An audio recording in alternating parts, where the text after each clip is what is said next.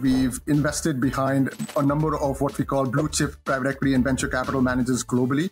But we've also tracked thousands of other managers in the market over long periods of time. Some of these managers we've had decades long relationships on.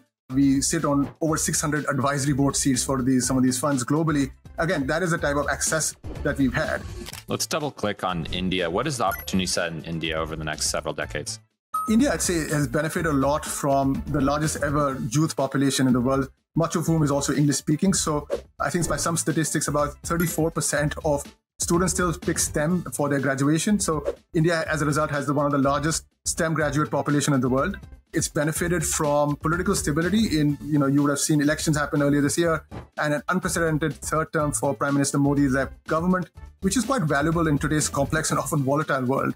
This has really allowed the space for the government to push through significant structural reforms on the economic front, but also infrastructure development.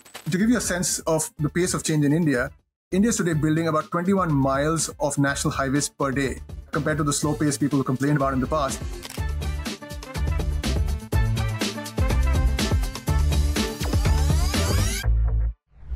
Kunal, I've been really excited to chat. Welcome to the 10x Capital podcast. Oh, well, thank you for having me, David. Tell me about Pantheon. What does Pantheon focus on? Well, Pantheon is a specialist investor investing across a number of key private market asset classes, including private equity and venture capital, infrastructure, private debt, and real estate. We've, we manage roughly about $67 billion in assets under management globally. We like to invest across the full cycle. So we have three main products. Well, how we do that which is one is the primary fund investments where we take on the position of a limited partner with general partners. So LP and GP, like to, like, as we call it. Uh, we also invest behind companies as a direct co- co-investor, which is where we partner up with our GPs in the market. And then we also do secondary purchases. So think of things like continuation fund strategies or GP led secondaries. So Pantheon is a multi asset class uh, manager. Why would an LP go with a Pantheon versus a pure play like an Andreessen Horowitz or a KKR? Well, that's a good question. So if you wanted to invest behind some of the names that you just mentioned, whether it's on the venture side or, or private equity side or growth equity or special situations, we are one platform that allows the, our, our clients to be able to access all of those strategies through one commitment. It's a great way to get exposure across different parts of the market and also different geographies. You invest in LPGP and direct and secondaries. Talk to me about the synergies between those asset classes and why do you guys do all of those in house?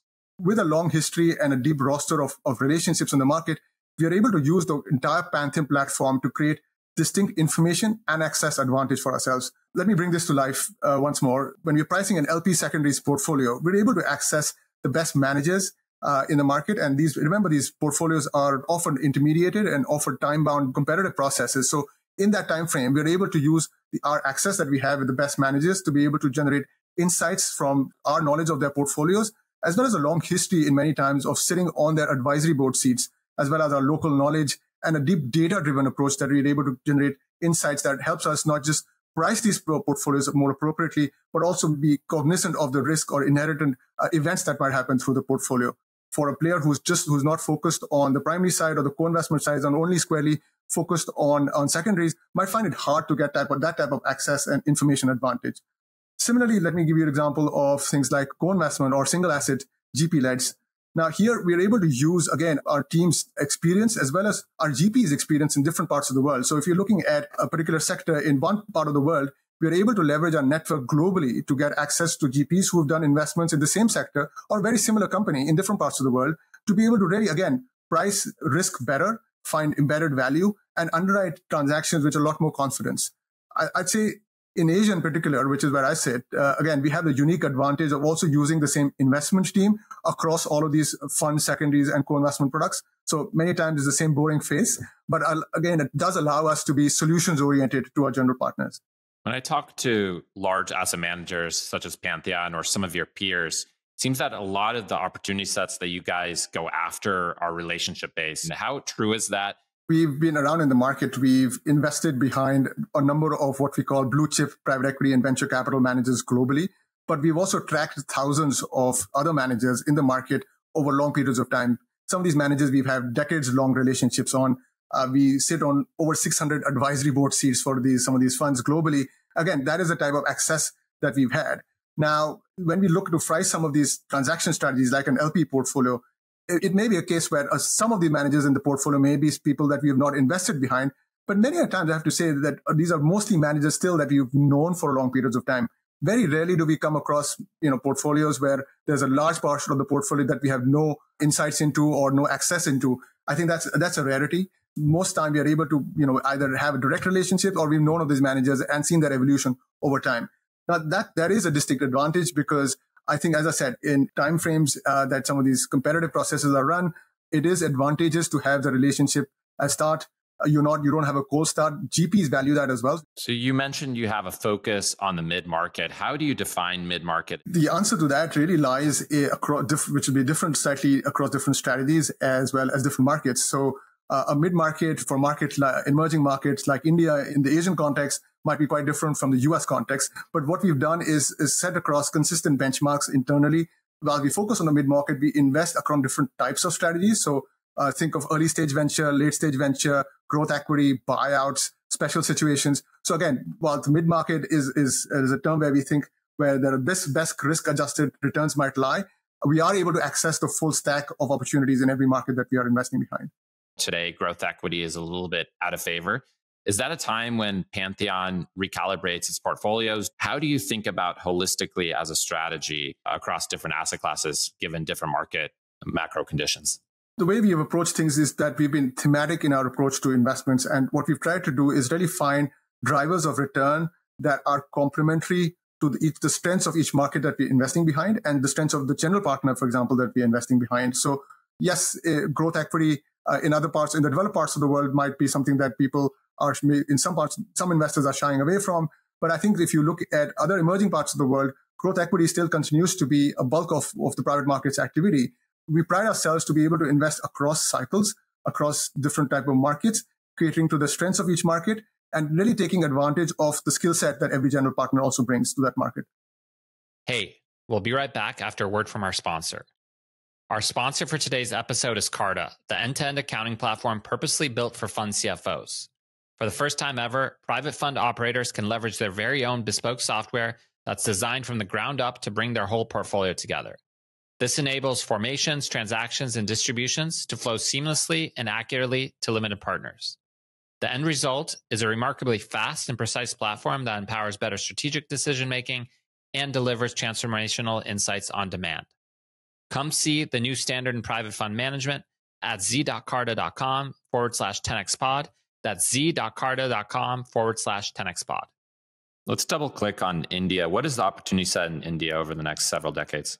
That's an interesting question. India, I'd say, has benefited a lot from the largest ever youth population in the world, much of whom is also English speaking. So I think by some statistics, about 34% of students still pick STEM for their graduation. So India, as a result, has the, one of the largest STEM graduate population in the world. It's benefited from political stability in, you know, you would have seen elections happen earlier this year and an unprecedented third term for Prime Minister Modi's government, which is quite valuable in today's complex and often volatile world.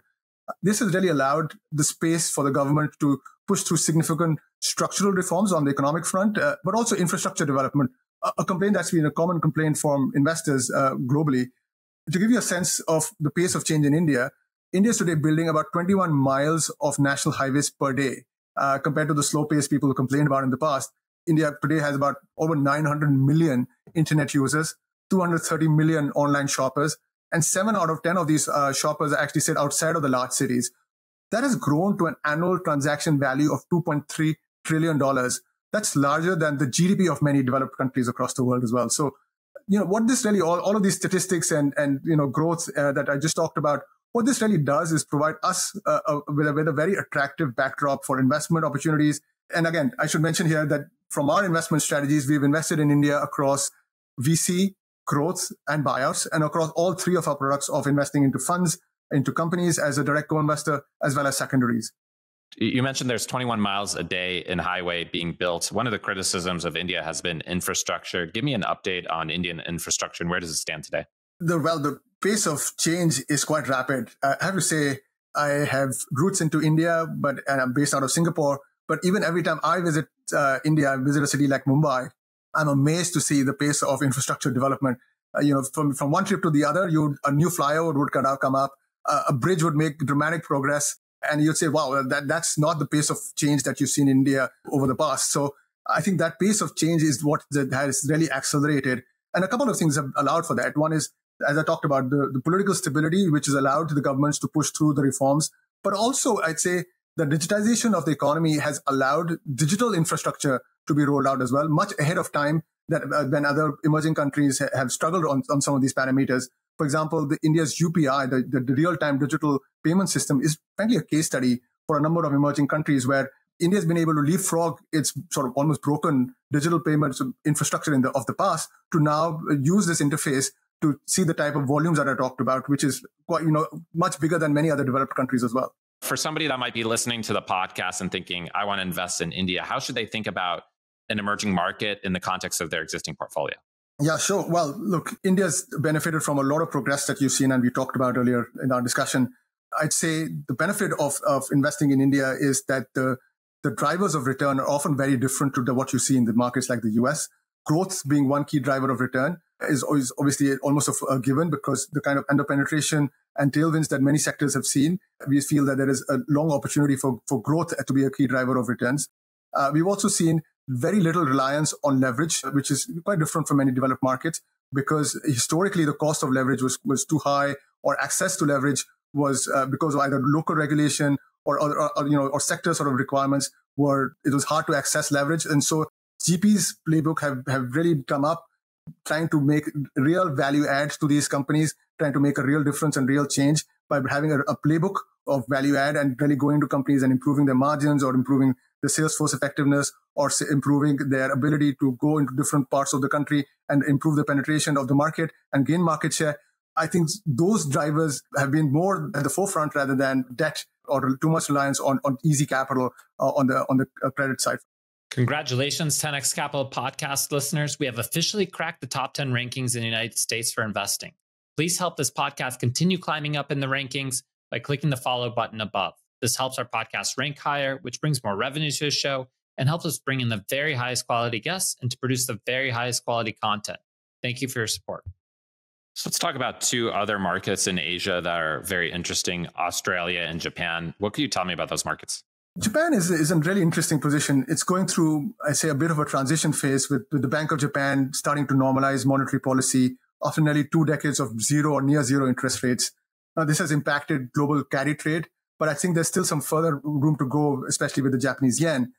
Uh, stock market, on the other hand, in Japan has done really, really well. The TOPIX has doubled in the last five years uh, because inflation, as, as, inflation rises, there is a need for higher returning assets. And, and that becomes more and more evident with the rising inflation.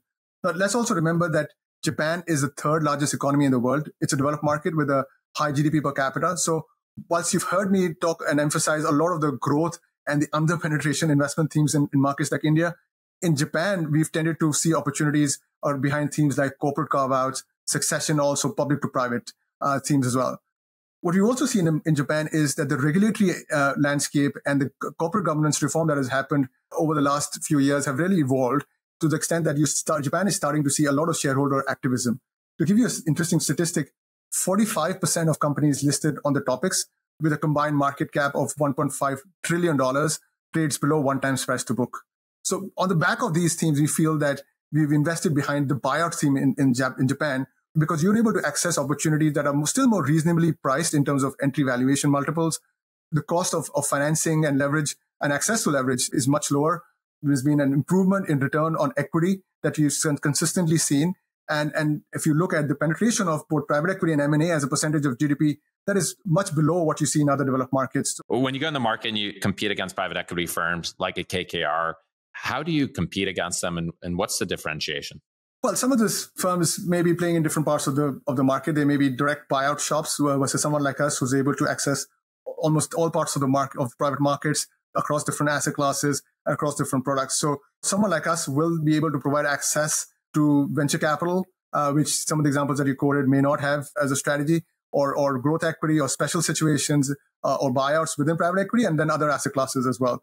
So I think, look, uh, you know, it's a competitive environment, but that's where the history and the deep track record and the experience of the team over decades, uh, over a 40 year history really counts.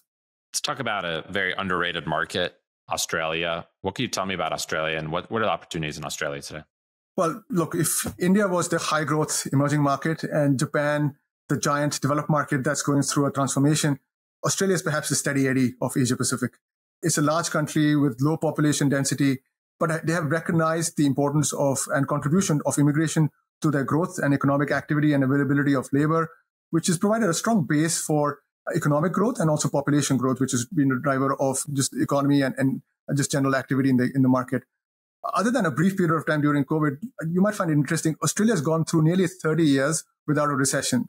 And so when you combine that with factors like a reasonable government debt as a percentage of GDP, a diverse economy, an increasing prominence of, of the technology sector in the market, we've seen opportunities, frankly, across different sectors in the Australian economy. What we've invested behind is really taken advantage of a range of themes in the market. So, for instance, because of a stable regulatory and legal regime, we're able to invest uh, behind special situations and turnaround opportunities in a market like Australia, alongside growth equity and buyouts as well. Australian VC is also amongst the fastest growing parts of the private market landscape in Australia. And again, you're starting to see a number of demonstrated, you know, scale up of companies and a number of pre-breakout companies, companies like Canva and Airwallex and Atlassian that you may have heard of, who really been Australian companies that have been able to go global. You focus on some very diverse markets, India, Australia, Japan, the rest of Asia. Talk to me about how you calibrate your skill sets for the different markets and how do you go about learning from one market to the other? That's a good question. I think, look, we are thematic in our approach and with drivers of return in each of these different markets are often driven by the strengths of this, of each market.